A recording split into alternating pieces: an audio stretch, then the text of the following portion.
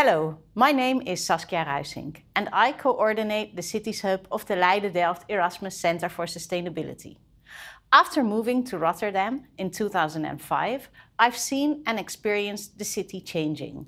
While this change over roughly 15 years might not be representative for many other cities, it does raise questions about urban justice with a generic relevance. All cities have diverse and dynamic populations, activities and spatial configurations. And in all cities, a transdisciplinary approach is very important for unraveling the meaning of urban justice. In 2005, Rotterdam had a declining population. In comparison to the rest of the Netherlands, the population had a low average income, a low average level of education, and high crime rates. I've heard many times that students of the Rotterdam Erasmus University were inclined to leave Rotterdam as soon as they graduated. The city administration then developed strategies to reverse trends and change the image of Rotterdam. In December 2005, the city administration adopted the controversial Rotterdam Act, in Dutch, the Rotterdamwet, this provided a legal basis to ban people who live less than six years in Rotterdam and who have a low income from registering in certain neighborhoods or streets. The act was developed to deconcentrate the accumulation of social challenges in certain parts of the city by intervening in who could settle where. Around 2014, the city of Rotterdam also develop policy measures to attract highly educated individuals and families to the city of Rotterdam, with a policy program that's labeled as Strong Shoulders, and another program focusing explicitly on attracting young families to centrally located urban neighborhoods.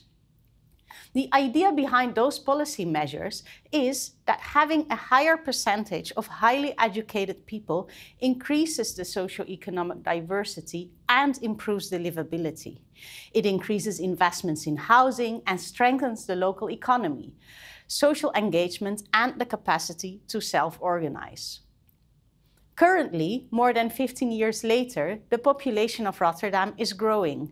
The average income in Rotterdam has increased and the share of people with a low income has decreased. Also, the average level of education has gone up, and the real estate market is booming, as in many other Dutch cities. The pressure on the housing market is clearly visible.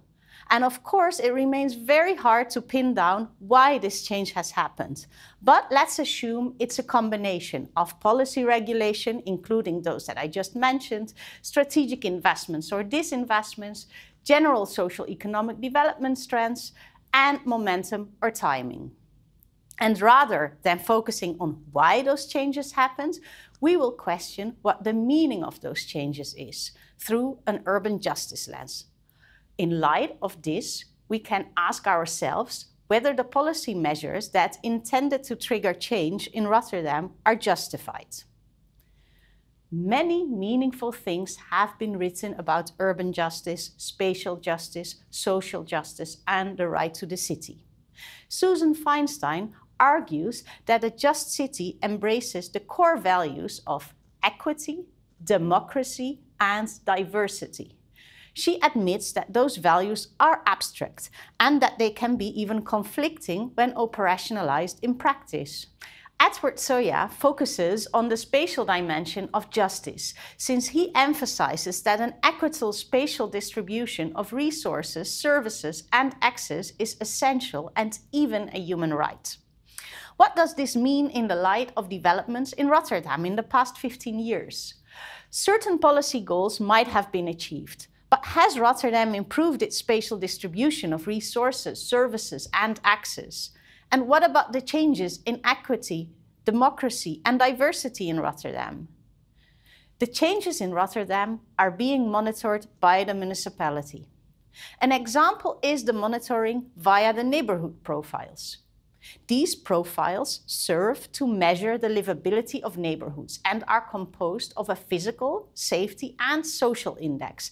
And a profile combines objective data, such as the number, number of burglaries, and subjective data, such as experience safety. The profiles show that the overall situation in Rotterdam is improving.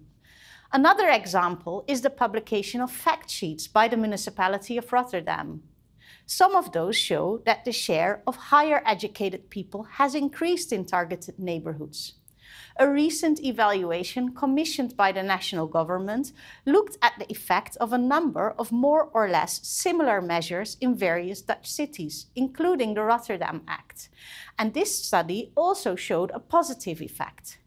This, however, contrasts with a very thorough academic study carried out in 2015, where Hochstenbach, Uitermark, and Van Gent conclude that the Rotterdam Act had various effects, but did not result in better livability of the neighborhoods. Other academic and journalistic studies are also more critical and highlight the relatively recent process of gentrification in Rotterdam that includes voluntary and involuntary displacement of people, often the vulnerable. Additionally, there's a growing social movement of residents who demand that their needs are considered. A prominent example is the group that organized themselves in Rotterdam under the label Recht op de Stad, which means right to the city. A confrontation of the policy instrument, the results of the monitoring and evaluation studies, and the academic and journalistic studies with the conceptualization of urban justice raises questions. What is the meaning of urban justice in contemporary Rotterdam? And more precisely, what is the meaning and importance of diversity, equity, and democracy according to the different stakeholders in Rotterdam? And how should resources, services, and access be distributed in Rotterdam? The follow-up question is where and how this is or can be achieved. And also, to what extent do current and past policy measures influence this? it is clear that different actors will give different answers to those questions. However, all those answers are important and need to be confronted and debated. And this will improve and expand our knowledge and understanding about urban justice.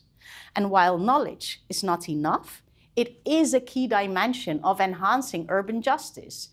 It's therefore important that urban justice is studied by engaging a variety of actors and by applying a transdisciplinary approach. This go be, goes beyond a multidisciplinary, interdisciplinary, or participatory approach. Academics from various disciplines are essential in addressing this subject matter. But so are the diverse group of policymakers with different professional backgrounds and ideologies, as well as the diverse group of residents and entrepreneurs who all have different needs and ideas. Those groups should work together on defining the research questions and deciding how this phenomena can best be studied. This requires combining, confronting, and debating ideas. It also requires making academic knowledge and expertise more accessible for other non-academic actors and stakeholders. The accessibility can be improved by using different and less academic language, by using research methods that are more accessible, and also by simply publishing research results in open access journals and other open access platforms. It does not mean that more traditional academic studies or policy evaluations carried out by municipalities are not meaningful or important. I do not want to claim that a transdisciplinary approach is or should be the only way of studying urban justice, or that it is easy and will result in all the solutions we need. But we do need to work more transdisciplinary than we currently do.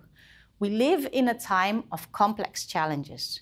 We need to find ways to deal with climatic, ecological, political, health, social, and many other crises. And it's timely to establish communities in various cities that gather people across stakeholder groups with different views and backgrounds to start addressing those crises by tackling a basic question.